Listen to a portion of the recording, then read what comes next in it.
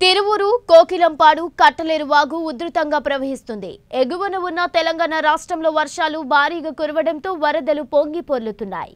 అధికారులు కట్టలేరు వాగు వద్ద ప్రజలను అప్రమత్తం చేసేలా తగు జాగ్రత్తలు చేపట్టాలని ప్రజలు విజ్ఞప్తి చేస్తున్నారు. కట్టలేరు వాగుపై ప్రయాణం చేసే వాహనదారులు తగు జాగ్రత్తలు తీసుకోవాలని ఇప్పటికే హెచ్చరికలు జారీ అయ్యాయి.